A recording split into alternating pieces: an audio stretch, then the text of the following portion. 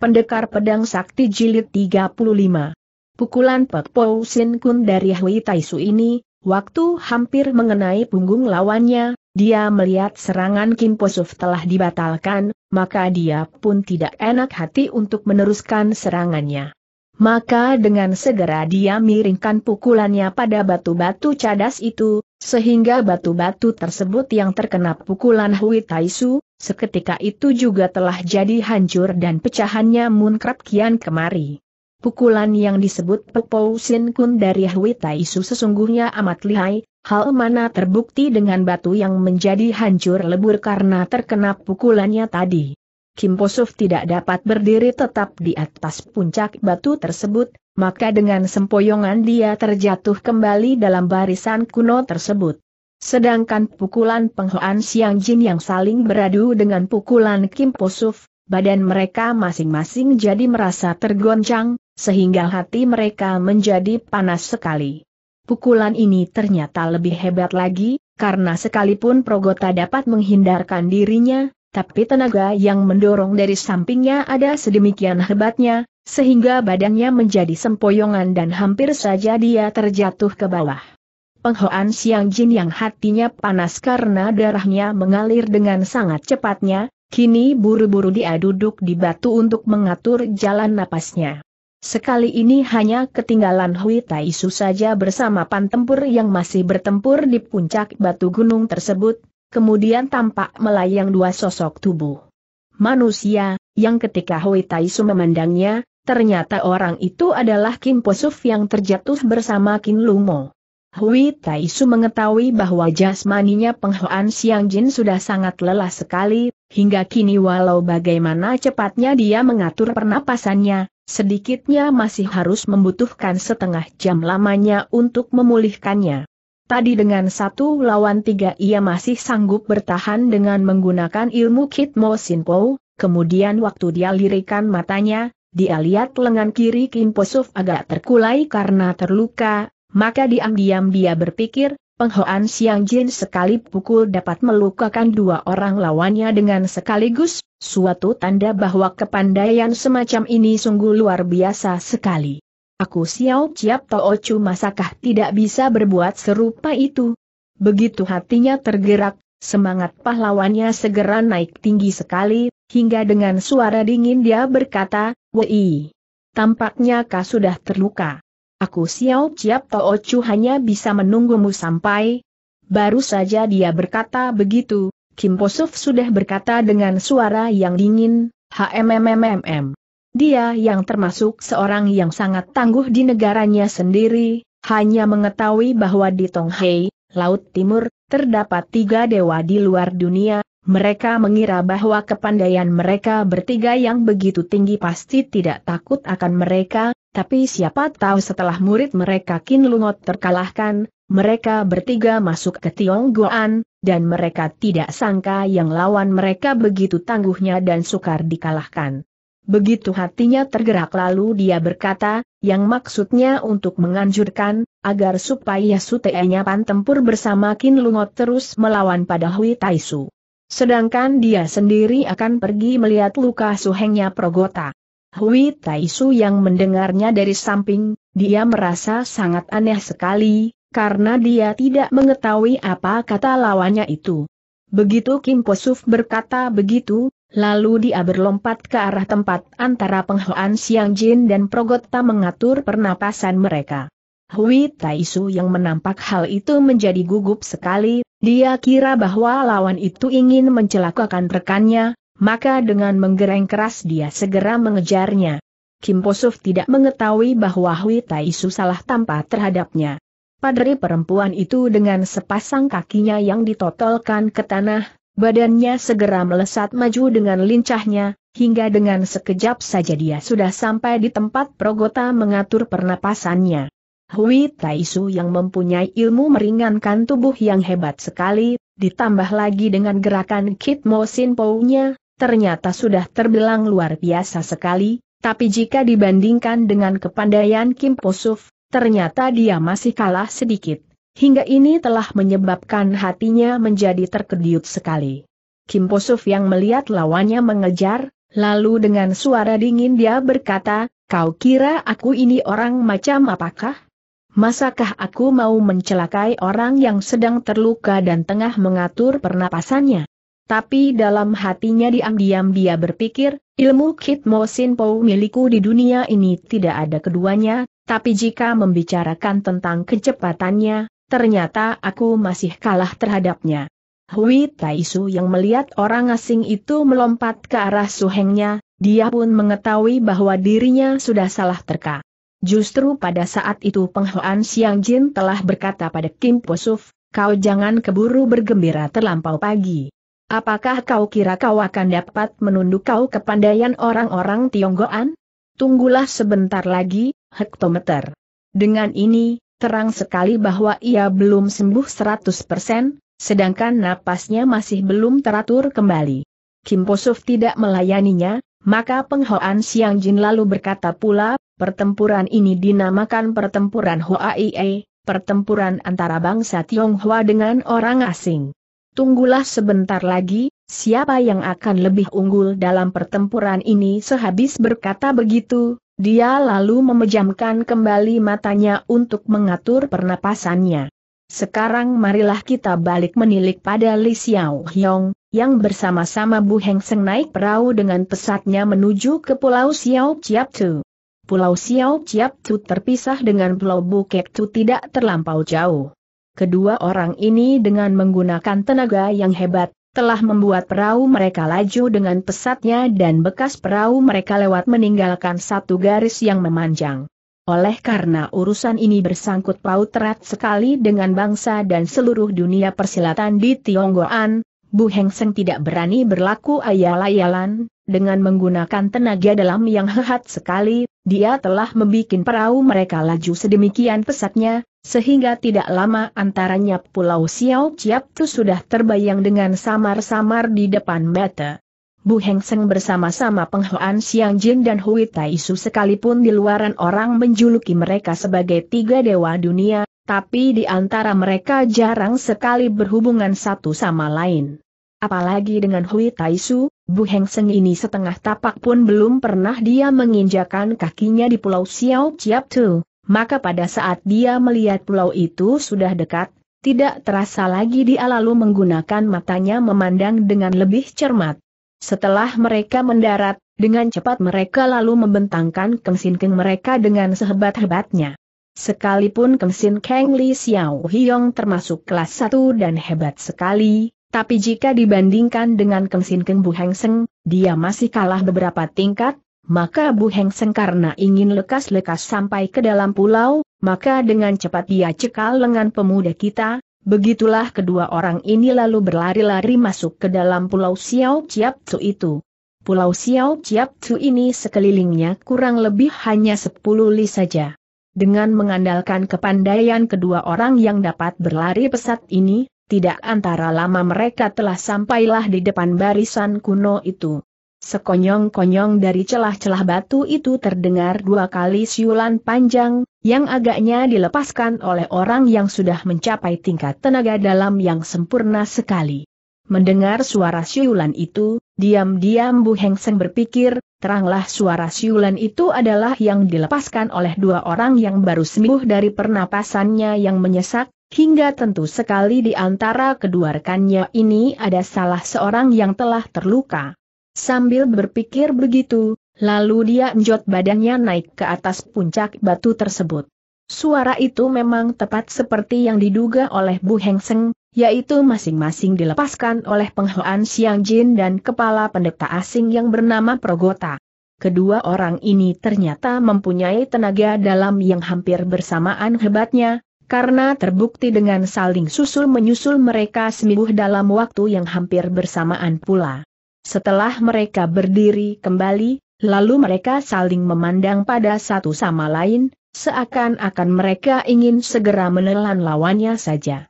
Di sebelah sana terdapat Hui Taisu bersama lawan-lawannya, yaitu Kim Posuf, Kim Lungo dan Pantempur yang telah mengeroyoknya, tapi Hui Taisu yang menggunakan gerak kaki Kit Mo Sin Po, ternyata masih tetap dapat mempertahankan dirinya.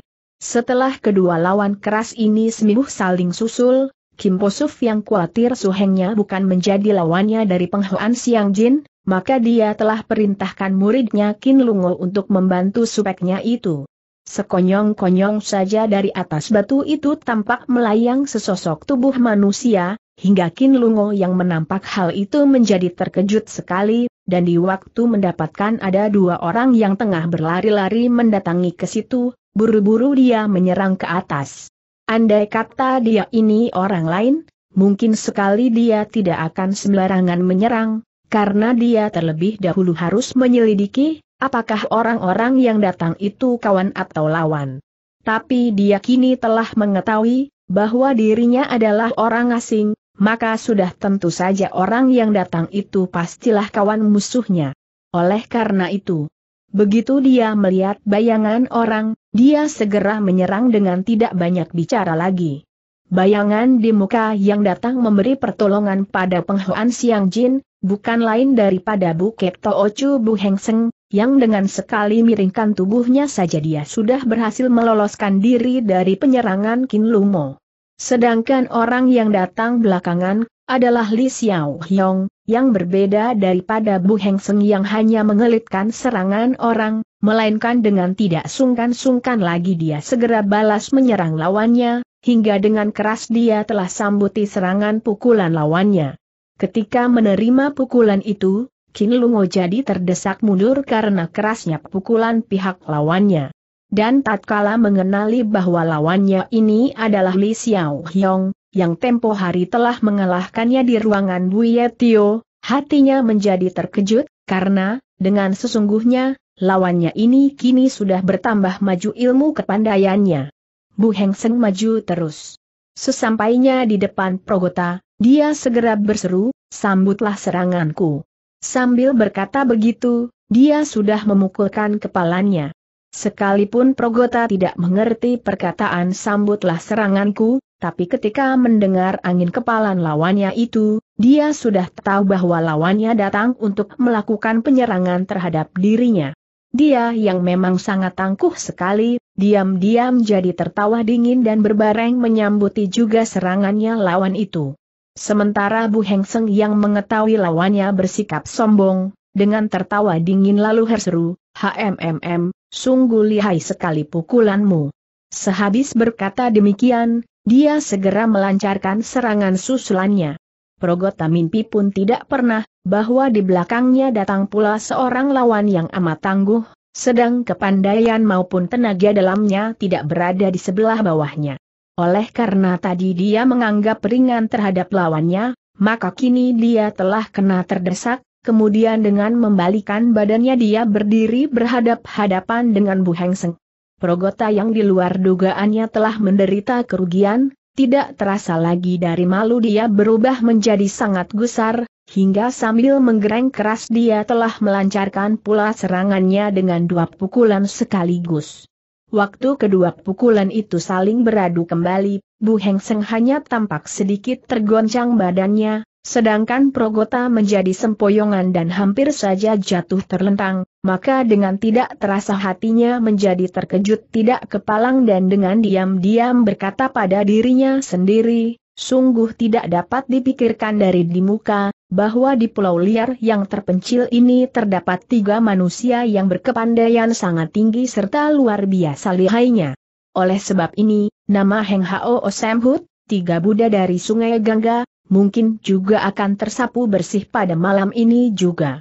Berpikir sampai di situ, tidak terasa lagi dia merasa sesak pernapasannya.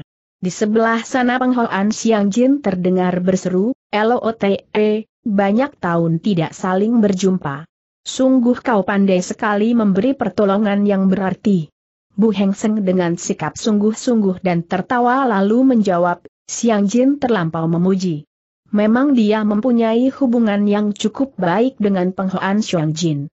Waktu orang tua itu merayakan ulang tahunnya yang ke-120 tahun, dia memberi bingkisan Kim dari besi, dan sekalipun pada hari-hari hiasa mereka jarang bertemu satu sama lain, tapi hubungan mereka cukup mesra dan hangat. Penghoan Siang Jin lalu berkata pula, hari ini kita tidak boleh sekali-kali kehilangan nama. Sekalipun kata-kata itu diucapkan pada Bu Heng Seng, tapi maksud sebenarnya adalah ditujukan pada Hui Taisu untuk membangkitkan semangat bertempurnya. Kemudian sambil tertawa besar lagi-lagi ia telah melanjutkan perkataannya, LOTE, kau lebih baik hadapi orang yang mukanya berkisut-kisut, agar supaya kita bisa bertempur dengan satu lawan satu. Orang yang dimaksudkan dengan muka penuh berkisut-kisut oleh penghoan Siang Jin ialah pantempur. Karena dengan begitu, dia ingin bertempur dengan lawan-lawannya sambil mengikuti urutan seperti juga dengan saudara-saudaranya, yaitu dia sebagai kepalanya menghadapi Progota, Hui Taisu menghadapi pemimpin kedua dari pendeta asing gurunya Kin Lungo, yakni Kim Posuf, Sedangkan Bu Heng Seng sebagai saudara yang termuda harus menghadapi lawannya yang ketiga, yaitu Pan Tempur, hingga dengan demikian, barulah tepat dengan urutannya.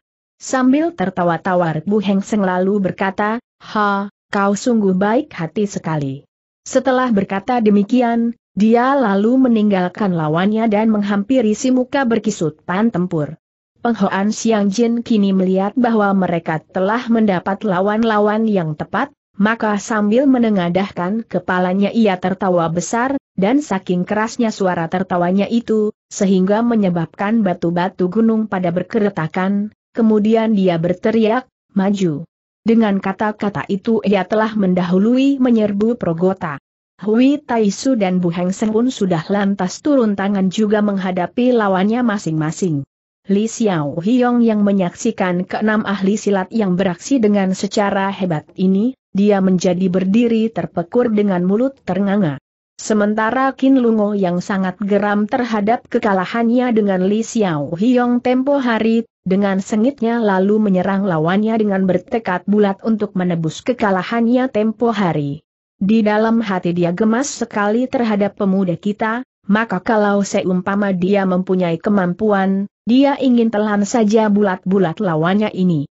Li Xiao Hiong yang dibuat terkejut oleh serangannya ini, dengan lekas dia tarik kaki kirinya, sedangkan tangan kanannya menyambuti serangan lawannya, hingga dengan mengeluarkan suara yang sangat keras atas beradunya kedua pukulan tersebut, Li Xiao Hiong terpukul mundur sehingga setengah langkah jauhnya.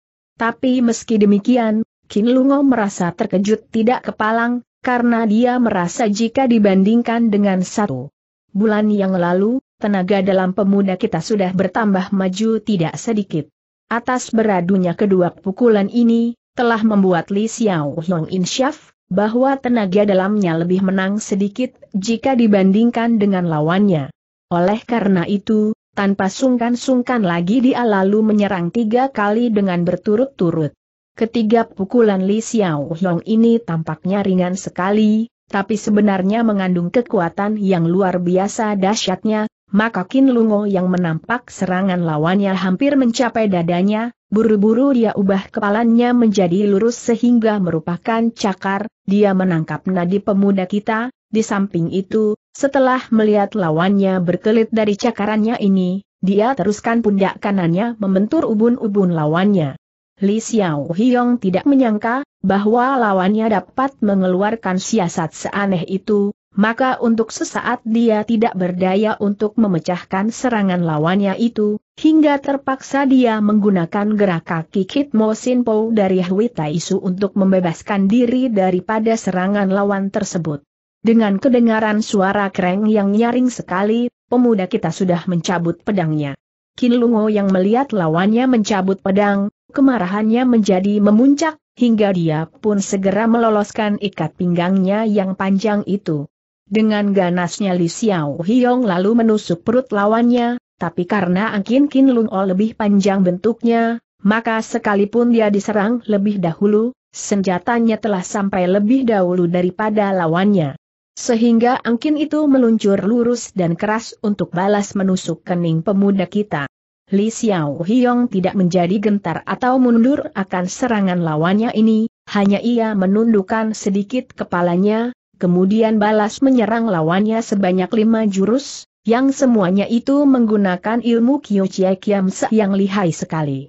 Permainan Angkin Kin Lungo tak berbeda dengan naga yang bermain-main di antara awan, tapi kadang-kadang di waktu dia memutarkan angkinnya itu, dia masih sanggup memunahkan serangan dahsyat dari pemuda itu.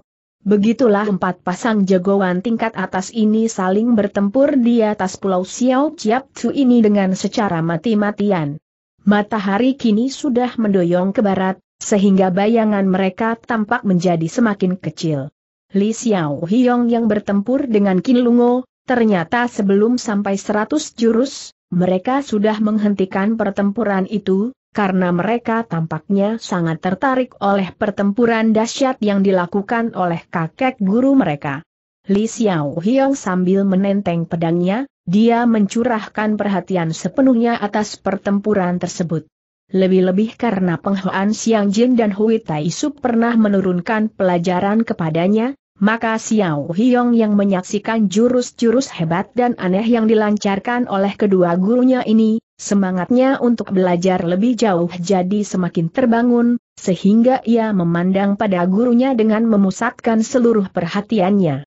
Tempo hari waktu menyaksikan pertempuran antara Penghoan Siang Jin dengan Hui Taisu, Li Xiao Long telah berhasil memperoleh kemajuan yang tidak sedikit. Pada saat ini ketika melihat kedua gurunya bertempur dengan tiga pendeta asing ini, dia pun semakin bertambah maju saja serta luas penglihatannya atas jalannya pertempuran-pertempuran itu. Penghoan Siang Jin kadang-kadang tampak dengan sebat dan tangkasnya mengubah serangannya dengan secara lincah dan tepat, yaitu serangan-serangannya itu kadang-kadang diubah dari telapak tangan menjadi serangan-serangan dengan jari tangan dan begitu seterusnya, dia telah menggunakan ilmu Tayan Sipseknya, sedang paling akhir dia pun telah menggunakan serangannya dengan ilmu yang baru diciptakannya, yaitu Kongkong Kun Hoat. Pada saat ini dia telah berhasil memperoleh kemajuan yang pesat, berhubung tipu-tipu yang aneh serta tidak dimengerti olehnya, Kini dia menjadi paham dengan melihat permainan penghoan Siang Jin ini. Kin Lungo yang bersamaan juga menyaksikan jalannya pertempuran, dia pun memperoleh kemajuan yang pesat pula dengan menyangkok pelajaran gurunya. Sekonyong-konyong Kin Lungo yang baru saja mendapat menyangkok pelajaran baru dari Progota sambil berteriak dia sudah lantas menggunakannya dengan menyerang belakang pemuda kita, hingga Li Xiao Hiong yang pada saat itu sedang asyik menyaksikan satu jurus yang paling aneh dari penghuan Siang Jin, dengan tiba-tiba saja dia rasakan punggungnya ada angin keras menyambar ke jurusannya, tapi tanpa membalikan badannya lagi ia sudah lantas mengibaskan tangannya ke belakang untuk menyampok serangan Kin Lungo, sehingga lawannya dapat didesak mundur sampai setengah tombak jauhnya. Daya tangkisan yang dilakukan oleh Li Xiao Hiong ini, justru adalah tipu yang baru saja dia petik dari Pang Hoan Xiong Jin. Kedua orang ini setelah serang menyerang. Sejurus lamanya, mereka lantas berhenti pula.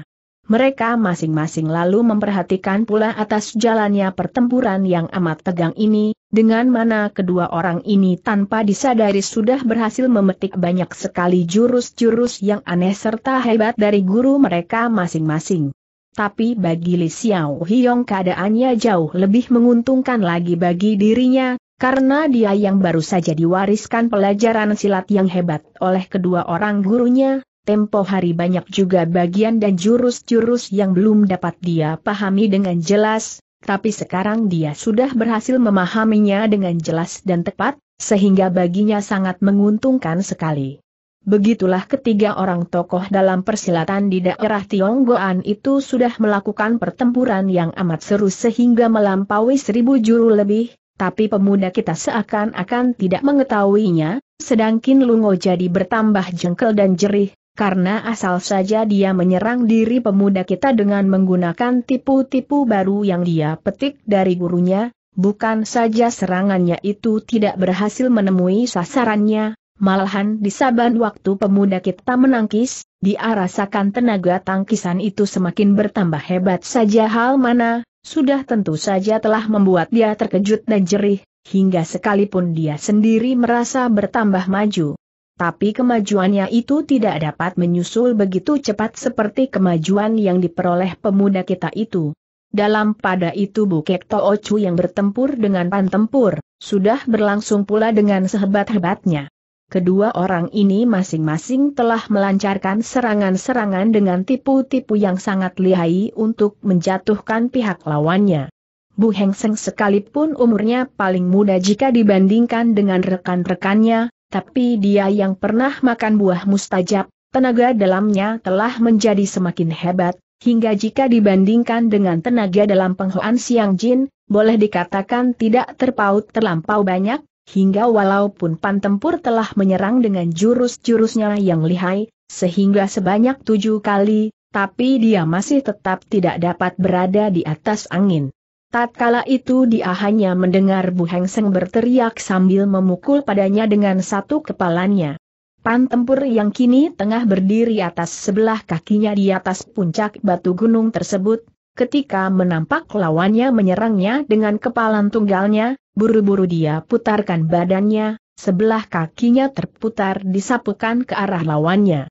Tapi sebelum tendangannya menemui sasarannya, anginnya sudah sampai dan membuat baju Bu Heng Seng berkibar-kibar tertiup oleh angin tendangan itu. Seranganmu ini sungguh bagus sekali seru Bu Heng Seng. Buru-buru dia apungkan badannya. Sepasang tangannya lalu disodokannya ke bawah bagaikan kilat cepatnya. Ketika lawannya coba menangkis serangannya ini, dengan menggunakan sebelah tangannya dia menggencet lawannya dengan tenaga yang sebesar-besarnya. Pan tempur dengan mengandalkan besinya yang kuat, dia coba menangkis serangan lawannya, hingga Buhang Seng yang menampak hal itu, menjadi terkejut dan dengan cepat dia ubah serangannya dengan tipu Keng Hang Itpiat, burung hang yang terkejut terbang berkelebat, sambil menyapukan kakinya dengan tendangan berantai ke jurusan lawannya. Ternyata tindakan Bu Heng Seng dengan mengadakan tendangan berantai ini agaknya merupakan suatu tindakan yang gegabah, karena pan tempur yang sudah melatih dirinya selama 80 tahun, tanpa berpikir lagi dia sudah hulurkan jarinya dan coba menotok jalan darah Kong San Hiat di kaki lawannya. Jalan darah Kong San Hiat ini terletak di sambungan tulang kaki. Jika seseorang terkena totokan pada jalan darah tersebut, maka kakinya seketika akan menjadi cacat dan tidak dapat dipergunakan lagi untuk seumur hidupnya. Tapi Bu Heng Seng yang menampak keadaan yang berbahaya itu, tampaknya tidak menjadi bingung oleh karenanya. Dia hanya menekuk kakinya dan menendang lawannya dengan bagian atas telapak kakinya. Tendangan ini adalah satu serangan yang aneh dan berbahaya sekali bagi lawannya. Dengan begitu, pan tempur yang menotok tempat kosong, tidak sempat lagi menahan pukulannya sendiri yang tepat sekali mengenakan pada sepatu lawannya, sehingga badannya menjadi sempoyongan. Bu Heng Seng yang telah menggunakan serangan yang sangat berbahaya ini, benar dia telah berhasil dapat membebaskan dirinya, tapi dia tidak urung menjadi marah, maka dengan suara dingin dia berkata pada pan tempur, bagus, HMMMM. Setelah berkata begitu, sekonyong-konyong saja dia teringat, bahwa lawannya ini tidak mengerti bahasanya, maka untuk mendengarnya pun percuma saja, hingga tidak terasa lagi dia menjadi tersenyum tawar. Bu Heng Seng tidak tinggal diam dan lantas dia mengenjot badannya melayang di angkasa, kemudian dari atas dia menyerang lawannya dengan tipu taisan apteng dengan secara dahsyat sekali. Pan tempur yang menyaksikan kepandaian lawannya sudah mencapai pada tingkat yang tertinggi, tiap-tiap serangannya senantiasa mengandung bahaya maut. Oleh karena itu, dia tidak berani memandang ringan terhadap lawannya, maka sambil memusatkan perhatiannya, dia berusaha untuk menghadapinya dengan tekun dan hati-hati. Dengan satu pukulan yang dahsyat, Ternyata pan tempur yang melihatnya hanya tertawa terbahak-bahak dan lalu dengan gerakan mengacip ia hendak memunahkan serangan lawannya dengan cara penangkisan yang mirip dengan cara bersilat orang Tionghoa dalam gerakan yang dinamakan Chiang Tian Pao, atau petasan yang meledak meluncur ke angkasa, yang kekuatannya cukup hebat dan dapat mematikan. Bu Heng Seng yang bertempur mati-matian dengan pan tempur, kini merasakan ada suatu tenaga luar biasa yang menolaknya ke atas sehingga tenaga pukulannya sendiri menjadi lenyap, sedangkan dirinya sendiri kena tertolak oleh pihak lawannya. Tatkala Bu Heng Seng melihat lawannya tergoncang sedikit, terang dia lebih rugi daripada dirinya sendiri, hingga tidak terasa lagi semangat bertempurnya menjadi berkobar-kobar oleh karenanya. Maka sambil tertawa terkekeh-kekeh dia lalu memusatkan kembali tenaga dalam yang sehebat-hebatnya dan lagi-lagi dia menyerang dari atas pada lawan itu. Sementara pantempur yang mengetahui bahwa lawannya ingin mengadu kekerasan dengannya, jika dia terus mempertahankan cara bertempurnya seperti ini, maka dia sendirilah yang akan menderita kerugian yang besar, karena dirinya seperti juga paku yang terus-menerus dipukul kepalanya. Setelah berpikir demikian, ia segera putarkan kakinya dengan bersilat dalam jurus-jurus petkwa. Dan berbareng dengan itu, bila ada kesempatan, dia pun membalas menyerang ke sebelah atas. Oleh karena sambil bertempur dia selalu mundur dan berputar-putar, maka desakan Bu Heng Seng dapat dia punahkan dengan cukup lincahnya. Dengan cara bertempur begini, Bu Heng Seng merasa senang sekali, maka sambil berteriak dia berkata, bagus, sambut lagi seranganku ini. Perhatian yang diucapkan ini bukan dia tujukan pada lawannya, karena lawannya tidak mengerti bahasanya, melainkan dia tujukan pada pukulannya, yang kini sudah diperhebat seakan-akan batu pun dapat dia hancur leburkan. Baru saja dia berkata begitu, Bu Heng Seng sudah melancarkan sepasang pukulannya yang dipecah ke kiri dan ke kanan dengan jurus yang disebut Xiang Lui Kuan Jie, atau sepasang geledek memekakan telinga, dengan manada menyerang pelipis lawannya. Pan tempur buru-buru membentangkan tangannya untuk menangkis serangan lawannya, yang satu dirapatkan, sedangkan yang lainnya lagi dipencarkan, dengan begitu, dia pun masih sempat melancarkan serangan dengan menotok jalan darah di lengan lawannya. Bu Heng Seng sudah menduga bahwa lawannya akan berbuat demikian. Dengan cepat dia tarik tangannya, tangan kirinya dipakai menjaga dadanya, sedangkan tangan kanannya dengan jari-jari dijulurkan merupakan sebuah kantung dengan cepatnya dia totok lawannya. Jurus ini adalah jurus terhebat yang sangat diandalkan oleh Bu Heng Seng dan disebut Pek Kloko Atai, menjangan putih menggantung kantong, yang kekuatannya tak dapat diduga-duga. Dikatakan lambat tapi kejadiannya sangat pesat sekali, gerakan tangan kanan Bu Heng Seng yang cepat bagaikan kilat telah meluncur dan menotok jalan darah Siai Cheng Hiat di dada lawannya. Dalam sejarah peperangan ada pepatah yang mengatakan, Bila kita mengetahui titik kelemahan lawan, maka seratus kali kita bertempur, hasilnya pun seratus kali pula kita akan menang. Bu Heng Seng yang telah mengetahui bahwa lawannya pasti akan menyerang dengan berbareng terhadap dirinya, mula-mula dah menyerang dari tengah, lalu dari samping dia teruskan serangannya. Pan tempur tidak pernah menduga sampai di situ.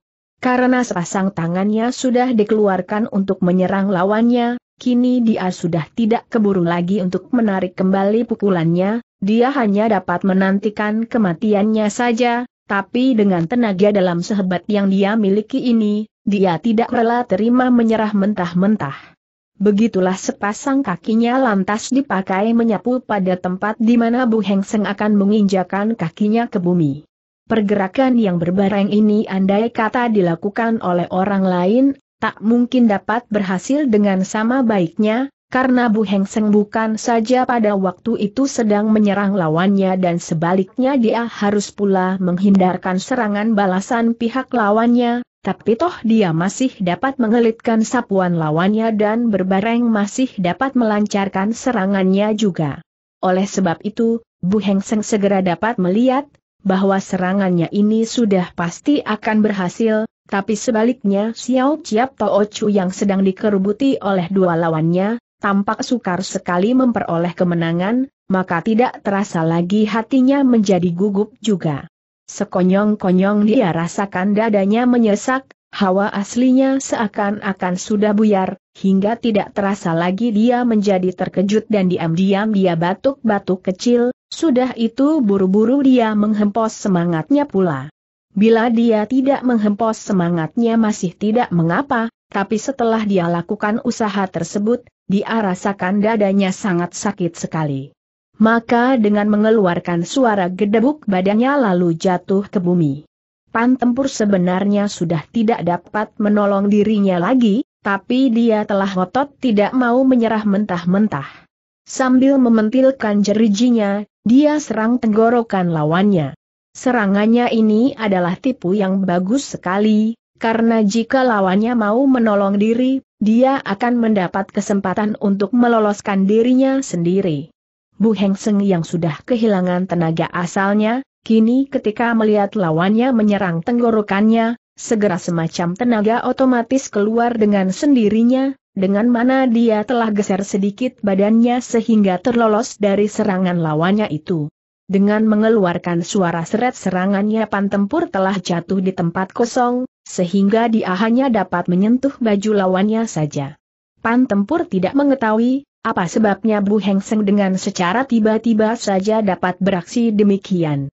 Maka dengan tingkat dan kedudukan seperti dirinya, dia tidak mau maju mencelakai lawannya yang sudah tidak berdaya ini, oleh sebab itu, dia hanya berdiri di samping dengan terbengong. Kejadian ini, telah berhasil menghentikan masing-masing pihak yang sedang bertempur, Bu Heng Seng yang terjatuh ke tanah tanpa dia sendiri mengetahui apa sebabnya, Beberapa kali dia telah menghempos semangatnya tapi senantiasa tidak berhasil, hingga saking gugupnya dahinya tampak keluar keringat dingin. Penghoan Siang Jin yang menghampirinya, lalu meraba-raba nadinya tapi dia tak mendapatkan sesuatu yang aneh dan luar biasa. Keadaannya normal saja, maka tidak terasa lagi dia pun tidak berdaya.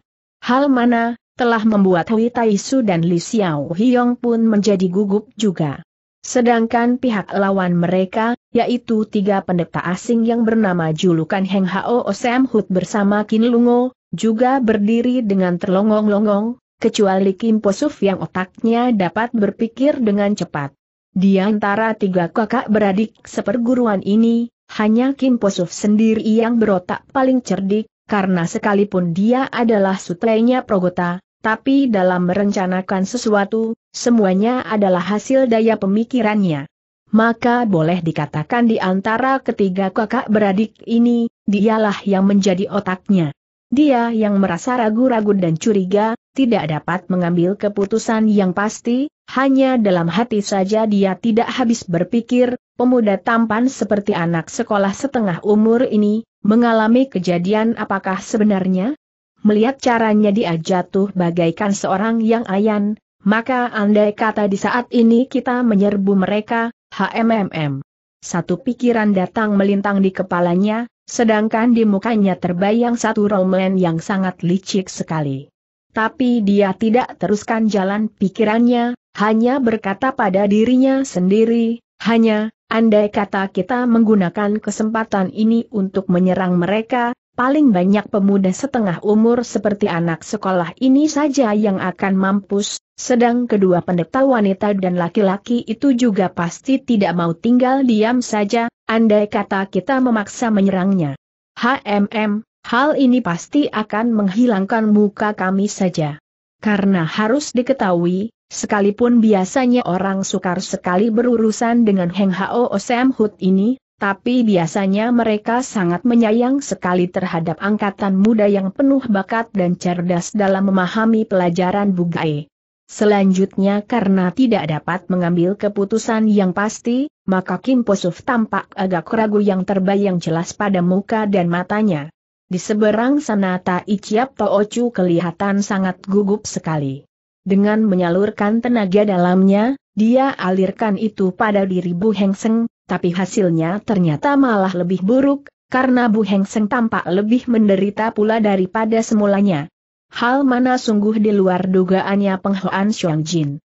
Hui Taisu yang berdiri di sebelah pinggiran, dia sangat memperhatikan mukanya Bu Heng Seng yang sekarang tampak pucat, dan di antara kepucatannya ini, samar-samar terlihat warna biru.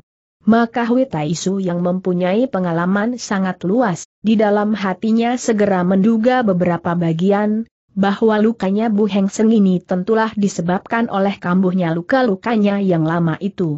Tapi satu hal yang dia merasa aneh, ialah mengapa Bu Heng Seng yang sudah mencapai tingkat tertinggi dalam kalangan Kang Ou, sampai tidak mengetahui bahwa dirinya telah terluka. Kim Posuf setelah berpikir sebentar, Lalu dengan suara yang nyaring dia berkata, urusan hari ini, karena di antara kalian ada seorang yang sudah terluka terlebih dahulu, maka kami Heng Hao Sam Hu tidak dapat menunggu lebih lama pula untuk melangsungkan pertempuran ini, hari ini. Belum lagi dia selesai mengucapkan perkataannya, Tai Chiap Toocu yang mengetahui maksudnya, karena dia pun insyaf bahwa lawannya tidak dapat pergi begitu saja tanpa mendapat perkenan terlebih dahulu daripadanya, maka tidak terasa lagi dia menjadi tertawa terbahak-bahak. Kim Posuf setelah berdiam sejurus, lalu dia melanjutkan perkataannya, mengenai kejadian hari ini, sampai di sini saja kita akhiri. Kalian pun mempunyai pepatah pula yang mengatakan, Cheng San Put Kei, Lok Sui Tiang Liu, gunung yang biru tidak berubah, air sungai yang kehijau-hijauan senantiasa mengalir untuk selama-lamanya, yang maksudnya hari masih banyak. Lain waktu mereka ingin memohon pengajaran pula dari tiga dewa di luar dunia ini, oleh karena itu, untuk sementara kami ingin minta diri saja dari kalian. Dia menggunakan bahasa Han dan bahasanya sendiri untuk menyampaikan kata-katanya ini, Bahkan dengan tersenyum-senyum ia telah melambaikan tangannya dan mengajak kawan-kawannya meninggalkan pulau itu. Sambil tertawa dingin Hui Taisu tidak lupa bertanya, apakah kalian bisa keluar sendiri dari pulauku ini? Mendengar perkataan lawannya ini, tidak terasa lagi Kim Posuf jadi merasa tercengang sekali. Setelah dia memandang keempat penjuru, dia dapatkan barisan Kuiego An Tin ini benar-benar sangat luar biasa, hingga sekalipun mereka berdiri di tempat yang tinggi, mereka belum lagi dapat menentukan arah mana yang mereka akan ambil untuk keluar dari pulau itu. Kemudian dengan tertawa dingin Hui Taisu sudah mendahului mereka melesat ke sebelah depan tanpa berkata-kata barang sepatah pun. Kim Posuf dan kawan-kawan yang mengetahui bahwa orang ini tengah memimpin mereka untuk keluar dari pulaunya ini, mereka pun tidak berani omong besar pula, hanya mengikuti dari sebelah belakang untuk sama-sama keluar dari barisan kuno yang sangat luar biasa itu. Tai Chiap Toocu memandang pada bayangan kelima orang itu, sambil tertawa besar. Setelah bayangan kelima orang itu sudah berlalu jauh, barulah dia berhenti tertawa dan lalu bertanya kepada Bu Heng Seng, LOTE, sebenarnya terjadi apakah atas dirimu? Bu Heng Seng dengan keras kepala lalu menjawab, Hal ini sesungguhnya terlampau aneh sekali, sampaikan aku sendiri tidak mengetahuinya, yaitu bahwa di dunia ini ada suatu macam racun yang dapat berdiam lama dalam tubuh kita, tapi setelah sampai pada saatnya, akan terbit dengan sendirinya dan dengan secara tiba-tiba. Pernahkah Siang Jin mendengar tentang hal itu? Penghoan Siang Jin lalu mengetuk-ngetuk kepala dengan jarinya sambil berpikir, kemudian dia berkata, jika kau tanyakan tentang lain hal, mungkin juga aku mengerti sedikit. Tapi mengenai racun, aku sama sekali tidak mengerti. Tapi sesaat kemudian ia telah berseru dengan sekonyong-konyong, benar, aku pernah mendengar tentang semacam racun yang dinamakan Pek Giok Toanci yang sama dengan racun berwarna hijau yang dapat dengan segera memutuskan usus. Racun ini memang mempunyai sifat keanehan seperti itu. Bu Heng Seng yang mendengar perkataan rekannya, dia pun mengangguk-anggukan kepalanya sambil berkata, racun Pek Giok Anti yang itu apakah yang dalam kalangan Kang Ong terkenal dengan racun hijau yang tidak berbau dan tidak berasa? Penghoan Siang Jin berteriak, benar, benar, apakah kau terkena racun tersebut? Bu Hang Seng mengangguk-anggukan kepalanya sambil berkata, apakah Siang Jin pernah mendengar tentang seseorang yang memperoleh nama julukan Giok Hut Mo? Penghoan Siang Jin menjawab, oh, aku tahu, dialah si kepala perompak. Para pembaca tentunya masih ingat, bahwa tempo hari Bu Heng Seng pernah berjumpa dengan anak buahnya Giok Hut Mo yang bernama Seng It Cheng di tengah lautan. Di waktu itu tanpa ragu-ragu lagi Bu Heng Seng telah menenggak arak yang diberikan oleh orang tersebut. Bu Heng Seng lalu menceritakan segala kejadian ini pada rekannya, kemudian sambil menarik napas dia berkata, aku pikir bila dugaanku benar, dalam arak yang disuguhkan padaku itu tentulah ditaruhkan racun. HMM, Sungguh keliru sekali aku telah tidak menurunkan tangan jahat terhadapnya tempo hari, sehingga dia memperoleh kebebasan dan berlalu dengan secara enak-enakan. Penghoan Siang Jin tidak berdaya dan tak dapat berbuat lain daripada menggaruk-garuk kepalanya yang tidak gatal. Hari sudah mulai gelap, karena sinar matahari sudah mendoyong dan akhirnya selam di ufuk sebelah barat. Sisa Sinar matahari yang terakhir tersorot pada laut di mana ombaknya beriak-riak pergi datang, sehingga tampak warna kemerah-merahan yang indah luar biasa, sedangkan sinar matahari yang terpantul pada batu-batu gunung, telah menyebabkan keadaan di situ separuh berwarna kemerah-merahan dan separuhnya lagi berwarna kebiru-biruan, yang mana telah menerbitkan pemandangan sangat indah di saat itu. Dengan diam-diam Bu Heng Seng telah coba mengatur pernapasannya, tapi setiap usaha yang dilakukannya itu senantiasa menemui kegagalan saja, bahkan dia merasakan bahwa racun yang berada di, di dalam tubuhnya itu telah mulai menunjukkan kelancaran bergeraknya, yang lambat-lambat menjalar ke seluruh tubuhnya. Penghoan Siang Jin tanpa berkata-kata barang sepatah pun tinggal tetap memandang kepadanya dari samping dalam keadaan tidak berdaya. Sekonyong-konyong saja suatu pikiran melintas di kepalanya Li Xiao Hyong, hingga dengan muka penuh kegembiraan dan optimistis ia jadi berteriak tertahan. Tai Chiap Toochu sekalipun terbilang seorang yang luar biasa dalam kepandaian Bugee, tapi terhadap soal racun dia sama sekali tidak mengerti. Tapi ketika Bu Heng Seng kena racun sangat berbisa dan luar biasa sifatnya, tentu saja ia tak berdaya untuk memecahkannya. Pada saat itu ketika dia lihat pemuda kita menunjukkan muka yang berseri-seri, tidak terasa lagi semangatnya pun terbangkitlah dan lalu dengan penuh semangat dia bertanya, apa? Apakah kau sudah berhasil menemui obat pemunahnya? Li Xiao Hiong lalu menggeleng-gelengkan kepalanya, tapi dengan nada yang riang dan menjawab, barang ini, aku kira tepat sekali untuk dicobanya. Sambil berkata begitu, dari dalam dadanya dia menarik keluar sejilid buku, yang lalu dibeberkannya seraya berkata, dengan adanya buku ini, segala racun yang bagaimana lihai pun, terdapat penjelasannya di dalamnya. Tampaknya buku itu adalah sejilid buku yang ditulis sendiri oleh Raja Racun Kim It Peng dengan susah payah. Tempo hari anak darahnya Kim It Peng yaitu Kim Bwe Eleng pernah menitipkan buku tersebut pada pemuda kita, buku itu tidak pernah terpisah dari badannya. Kesatu, karena dia telah berulang-ulang menjumpai peristiwa yang aneh, dan keduanya, karena dirinya mempunyai urusan yang mendesak dan penting, maka dia tidak mempunyai waktu yang senggang untuk melihatnya, sehingga seakan-akan buku tersebut terlupakan olehnya. Pada saat ini sekonyong-konyong saja otaknya teringat akan buku itu, maka dengan adanya buku racun itu, tidak disangsikannya lagi bahwa racun yang diderita oleh Bu Heng Seng itu pasti dapat dipecahkannya. Tai Chiap Toochu setelah menyambut buku racun tersebut lalu dia lihat kulitnya terlebih dahulu sambil diejanya, Tok Keng, dikarang oleh Kim Peng, oh, Kim Peng. Li Xiao Hiong lalu melanjutkan perkataannya, Kim Elo Ochian Pue e tempo hari di Siliong Peng pernah dengan racun melawan racun untuk membinasakan Giok Hutmo, buku ini adalah hasil jerih payah orang tua itu yang telah mengarangnya. Dengan tidak terasa lagi, Tai Chiap Toochu mengeluarkan suara teriakan tertahan.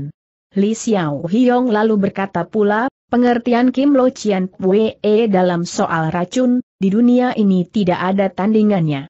Setelah berkata begitu, Lalu dia membalik-balik lembaran buku racun tersebut untuk mencari penjelasan dari berbagai racun yang tertulis di dalamnya. Buku racun itu memang ternyata sangat lengkap sekali isinya, baik yang terdapat di Tionggoan maupun yang terdapat di pembatasan, setiap macam racun tumbuh-tumbuhan, racun ular, sampai pun racun pada barang-barang yang lainnya, seluruhnya diberi penjelasan yang sangat cermat dan jelas, sehingga ini telah membuat hati pemuda kita jadi terkejut dan mengagumi atas kemampuan yang sangat luar biasa dari Kim Peng itu. Karena jika penjelasan yang tertera di situ dirasa masih kurang terang, lalu sengaja orang tua pencipta buku tersebut memberi gambar-gambar tambahan, sehingga Li Xiao Hiong semakin melihat, dia merasa semakin tertarik saja oleh isi buku itu. Harus diketahui, bahwa Li Xiao Hiong terhadap orang lain sangat simpatik sekali sikapnya, apalagi memang sejak dilahirkan dia mempunyai bakat yang dalam dan semangat belajar yang tak kunjung padam. Semula dia kurang menaruh perhatian atas buku itu, meski dia sendiri tidak menganggap bahwa buku ilmu racun tersebut sebagai ilmu yang menyesatkan. Tapi sekarang setelah mengetahui betapa pentingnya buku itu, hatinya menjadi sangat tertarik, oleh karena itu, dia telah mengambil keputusan untuk mempelajari isi kitab tersebut dengan sebaik-baiknya. Begitu pikiran ini melintas di kepalanya dan mengambil keputusan yang pasti dia periksa isi kitab racun tersebut, tapi akhirnya tidak didapatkannya penjelasan tentang racun Pek Giok Toan Tiang itu. Bukek Toocu dan Bu Heng Seng yang duduk tenang di situ, tampaknya dia tengah berusaha untuk mengatur jalan pernapasannya, mukanya tampak sudah agak wajar, tapi hal itu malah membuat gugupnya penghoan Xiong Jin. Setelah berselang sejurus lamanya, Hui Taisu pun sudah tampak balik kembali, pada saat itu Li Xiao Hiong sudah hampir habis membaca buku racun tersebut, tapi dia masih tetap belum juga berhasil menjumpai nama racun Pek Giok Anti yang tertera di situ.